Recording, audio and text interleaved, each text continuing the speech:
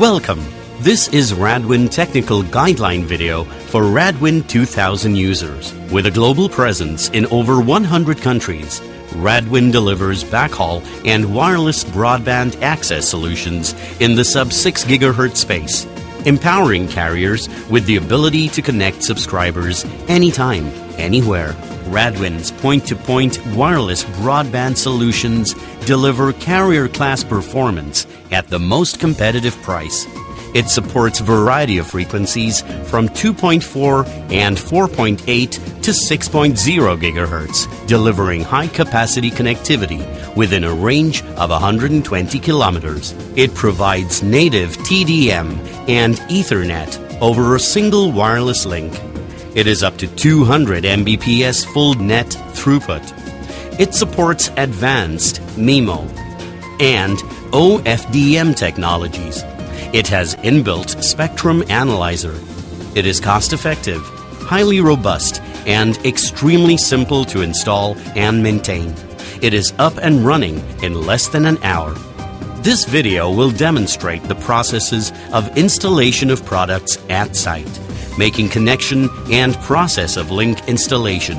Let's first review the key components of Radwin 2000.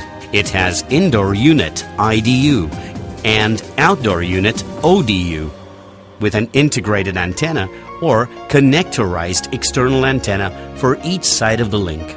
The link is managed via Radwin Manager application or Telnet. Let's look at the ODU. The ODU box contains ODU, the mounting clamp, and a CD. ODU is the radio transceiver and is the main component of the system. It connects to an antenna that enables radio communication and can be mounted on a pole or wall. The ODU comes in two configurations with integrated antenna and connectorized to use with external antenna. Let's look at IDU. The IDU has TDM and Ethernet ports that connect to the link on both sides. It is available in two configurations First is IDU-C with E1 plus Ethernet ports that has two Ethernet ports and 4 to 16 E1 interfaces. Second is IDU-C with only Ethernet ports. The engineer must have proper tools for doing the product installation. Ensure that the toolbox has the following items laptop, latest version of Radwin Manager application, patch cord, Insert the Radwin Manager CD and install the Radwin Manager on the desktop. While installing the Radwin products, following precautions should be taken.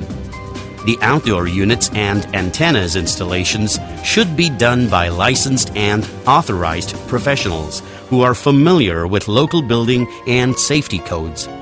The installation by untrained personnel may result in financial and legal liabilities for the end user. The technician should remove jewelry or other metallic objects before working on equipments connected to power or telecom lines. Extreme precautions should be taken while installing antennas near power lines and when working at heights we recommend the use of AC power adapter supplied by Radwin whenever using an AC power source. Now let's see the process of hardware installation.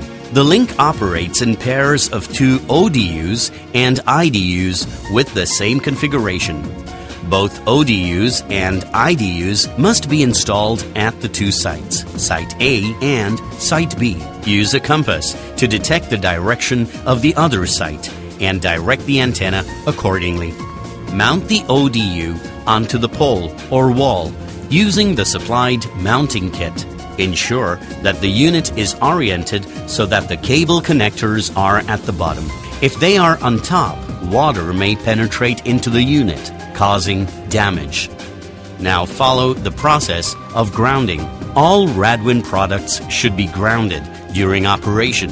There is a dedicated nut or lugs available in IDU and ODU for this purpose, which must be properly grounded before powering up the system. If you are using ODU with external antenna, follow the mounting instructions supplied with the product.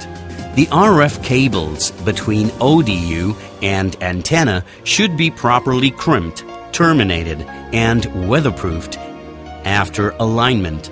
Let's understand the process of making connections between ODU and IDU. Connect the IDU and ODU through Cat5e outdoor cable.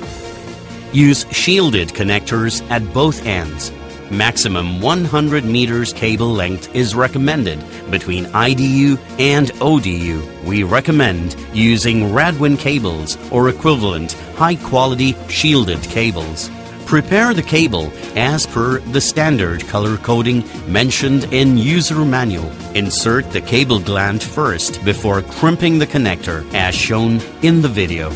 At ODU, attach the ODU IDU cable to the connector marked as IDU. Make a loop on the cable close to ODU to avoid stress on the connector. Tighten cable gland properly to ensure hermetic sealing of the ODU. Secure the cables to the pole mast, or brackets using UV rated cable ties and make a drip loop of the cable at the entrance of the building or shelter as shown in the video to avoid seepage of rainwater into the IDU. Secure the cable properly along the cable tray.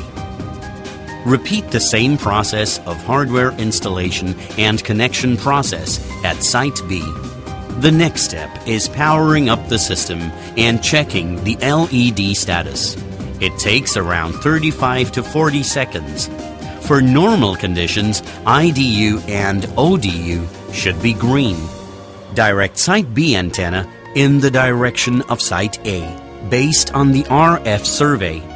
Make an azimuth sweep of 180 degrees with the Site A ODU to detect the strongest signal from Site B.